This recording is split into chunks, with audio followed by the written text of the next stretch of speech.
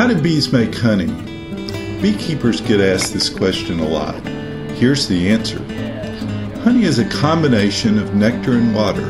The bee does everything in the process. Worker bees gather nectar from plants and flowers.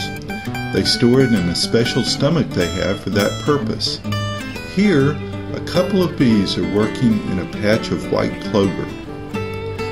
When a bee brings the nectar back to the hive, another bee sucks it out of the stomach of the forager bee. Then, the complex sugars of the nectar are broken down into what will eventually be honey. Once that process is complete, the nectar is placed in the cells of the honeycomb.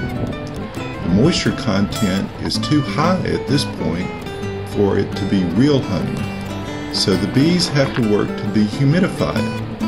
Often they do this by simply flapping their wings. Once the moisture is down to about 19%, bees cap the cell with a wax coating so that no additional moisture can intrude. The beekeeper looks for an entire frame of this capped honey when the time comes to harvest the honey. This picture shows a frame full of bees. The white stuff on the upper part of the frame is capped honey. When the frame is covered with capped honey, it is pulled from the hive. A hot knife is used to shear off the caps.